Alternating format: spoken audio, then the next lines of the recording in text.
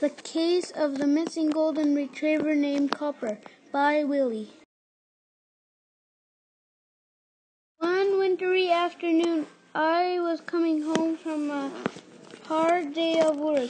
When I arrived home, I dog Copper.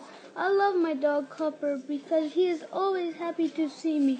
When I went upstairs to look for my dog Copper, but Copper wasn't there, so I decided to look in the living room, but he wasn't there either. I got really worried and screamed, Oh no, my dog Copper is missing.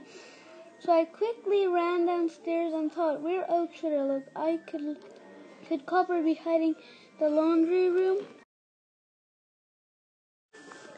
So I went off to check, but Copper wasn't there. I looked down on the floor and saw a clue. There was a pile of poop. Now this is becoming a real mystery. Copper must be around here somewhere. I had to act quickly like a real detective to solve the case of the missing Copper. Where could Copper have gone?